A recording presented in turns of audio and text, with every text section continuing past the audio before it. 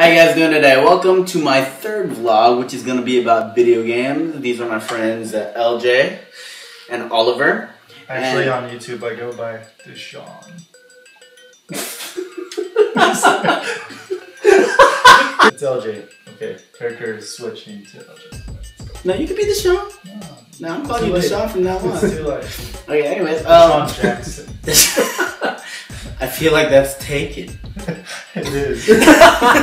by me. So I met these guys um, playing video games, so I thought it'd be best to have them on this video with me talking about video games because we play video games a lot. LJ, he plays a bunch of random games and he's he's kind of different in his mentality in a good way. In a good way. That's what I'm friends with him. Oliver, he just enjoys just playing video games nonstop until he's like completely immersed and doesn't care about the outside world. So um, I think it'd be best if we talked about now. It's a lot. What is what is your most memorable moment playing video games? Memorable. Mhm. Uh, memory is a tricky thing sometimes. I mean, I remember the first time I I caught uh, what was that? YouTube in the wild. 'Cause Oh, wow. Game Shark. Oh, okay, I was gonna And say, I had I was unlimited like- basketball, so it was super easy. Okay. There was something very special about it because it's like the first time I had altered a video game to be my bitch. Like, a couple I, I of remember the old Game Shark where it was that black cartridge for the N64, and you put the actual real cartridge on top. It had that button on it. Yeah. You turn it on or off. Turn it on or off, or for Mario specifically to get a hundred coins. For me, would be be learning your environment, learning, listening to sounds, listening to like if something weird's happening.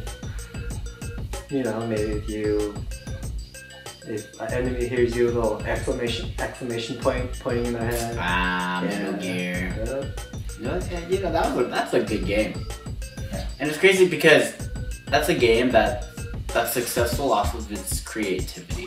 Yeah, I think the best one would be Snake Eater because from there you learn survivability, you learn how to you know kill things, how to use them as like potions or rations or how to fix broken bones. Oh, like animals. My most memorable um, moment in video game history is when I first got my first nuke in Call of Duty Oh. 4 because it was uncontrol. My I just lost control of my body. Like I was like as I'm going, I'm standing up, and then I, there's this gun called the, the FAMAS where it's you know it's going. And I made this song every time I'm shooting it. Like when I would play, you know, online, I would be like FAMAS, FAM. I know I'm mispronouncing it, but whatever. I'd be like FAMAS, FAMAS. FAMAS shooting it up, and I would just go. But then, like, I got on like 12 kill streak. Now you need 24 to get the nuclear bomb in a row without dying. And I just kept finding this guy and killing him that had ammo for the FAMAS, so I could keep going. And I would just, the, as I would sing this song, the song would get a lot more intense. I'd be like, FAMAS, FAMAS, FAMAS, and I started like cussing. And I got him and I like dropped the controller and I run. Be like, sir. And it's like one in the morning, and like my mom's gonna yell at me for like being so loud. But dude, I was so excited. Let's see. There's this really funny moment um, that was also very strange that happens in uh, Saints Row 3. I have you guys played Saints Row? Yeah, yeah, Yeah, yeah. it's like the Grand Theft Auto style game, and in the story, there's like this part where you're chasing these enemies, and they're and, and it's a rickshaw, but they're like BDSM guys, so they're like being like tortured as they're running these rickshaws, and they they were loving it because you know Yeah. BDSM, yeah. And uh, so you're chasing them, and what happens is they like actually slide out and and they, they crash, and you know it's it's powered by this man who's running. So you're totally not expecting what happens next. It explodes like like a car would explode. and I was just like, what the? F-? I was laughing so loud at home playing this game by myself and just laughing. Mine's a throwback weird moment, I guess. Uh, but one time, one time I was playing Hey You Pikachu, and I bought the the whole thing. I had the the mic with a little Yeah. yellow bob on it, and I would talk to my Pikachu. I'm like, "Hey, hey, Pikachu!" But Pikachu gets upset when you cuss. Okay, so that's that's kind of thing.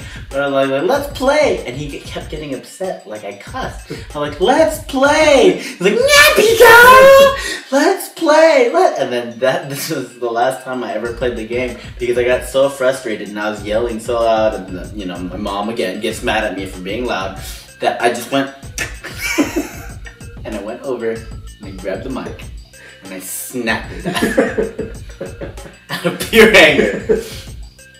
That was my weirdest moment because I've never raged so hard like before. I mean, that was before raging was a thing, and then I totally raged. I mean, like for me, um, com- being completely immersed in like Assassin's Creed, like I understood more so what it was like to live in those time periods because of playing that game than anything I learned in school about that era. The immersion isn't usually the thing for me with video games. I'm more like uh, the reason I play them. It's a task to accomplish to like finish goals. It's like almost like an OCD thing. Like I want to just try and get everything in the game and, and complete things. I'm completionist to that to that level. I know you are too. Uh, assuming you are too, Yeah. Oliver, from those games. Like I know you play a lot of RPGs. You probably want to, you know, go through every story path and there's multiple ones, collect all the items. But yeah, I mean, the immersion into the world isn't like such a big thing for me. I, yeah, I played like Skyrim and stuff, but even then, it's like I'm one of those people who's just skipping through story, and all these story writers probably hate it. I'm just like, skip, skip, just got. No, there are a lot of gamers out there like that too, so I totally agree with that. Even like the, the old Pokemon games, I remember I had this competition with my friends. Pokemon Diamond came out. I was probably Who like could 20 beat it first? Yeah, I beat the whole game in three days. Just played. I played. I would never be able to do that. I would be reading the story. hours, Yeah, I am a story So reader. just like, you know, scrolling through things. That's weird, yeah. Which which one are you? Are you a story reader or are you a, a skimmer? Uh, it depends. Like depends on the game. If the story's boring, I just want to skip through it and just play. Like play Final Fantasy game. 12 or something. Yeah, pretty much, for example. Or just play for the story and just like get immersed in the story. Final Fantasy 10 or something. Yeah, pretty much. Yeah, like I played Final Fantasy X. Don't remember what the story's about. What? So you like tho- those games that have a lot of replay value, right? Yeah. Like, such as fighting games and like. like Street Fighter. What do you Yeah. think of the new Street Fighter? Good.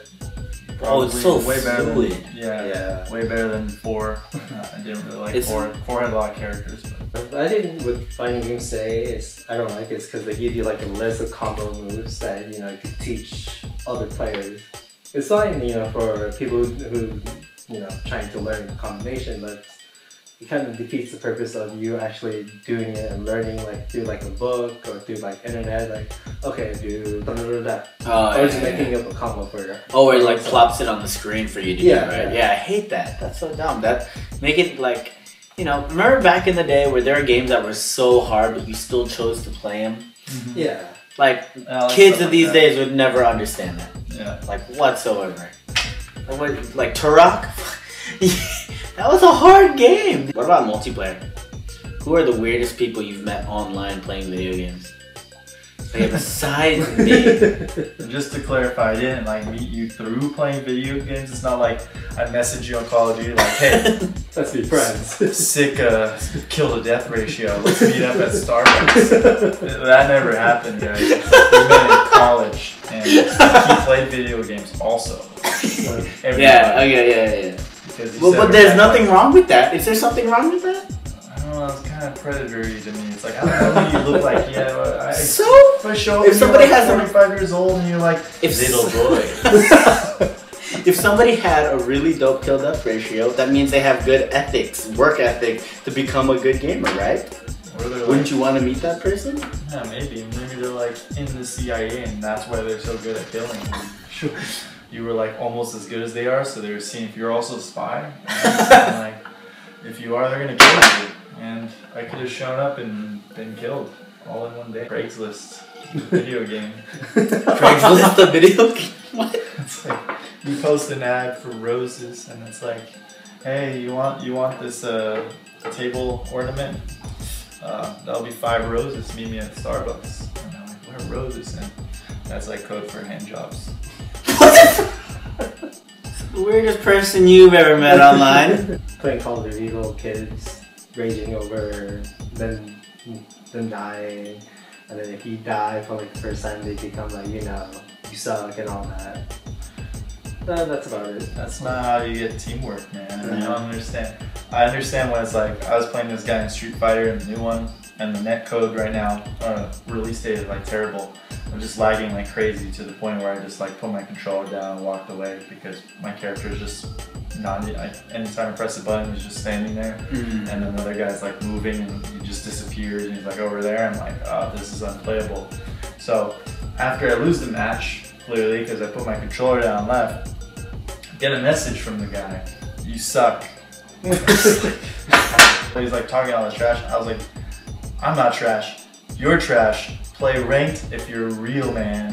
He never responded, but I mean, why would you message some? It's so hard to even message someone through PlayStation. Yeah, yeah, I Network know. In the It- it- it's a hassle. Like, why would you go? Why through would you go through extra all that? effort just to tell somebody that? I mean, across the microphone when you're playing Call of Duty, it's so convenient to Oh, just yeah. be shouting at people. Oh, see that, that that's where my weirdest person comes from. My weirdest person I've ever met online because there are a bunch of people like that. A bunch of people that are just like, yo, you know, they just talk trash for no reason. They don't even know who you are, but they hate your mom. You know what I mean? Like they're just they're just like that already. So the weirdest person I met was this guy that had the perfect counter to those people. Like this guy was like the last one alive, and then he was trying to kill him, and then they killed him. Like ah, you suck, you can't do because that's like prime time, and they're by themselves, and then it's on search and destroy, and you kill the last man standing, and then like you're like ah, you suck, and the guy just like quietly says hey, hey, and then like the guy's name was like like Chola something the like hey Chola six, Chola six, hey, and he's like what, what, what, brother. Let me smell your butthole. Dude, that's genius. Like, let just let me just let me smell your butthole, bro. Just let me smell your butthole. He's like, dude, what are you a faggot? Sometimes, just let me let me smell your butthole, man. so, So Uh. he messaged him and said, "Meet me at." Here's five roses. Comes Oh, full circle. it does come full circle. Thank you guys for being here. Thank you Oliver and LJ for being here. Thank you for watching, and tune in next time when I get these guys over for another discussion about different things. Thanks.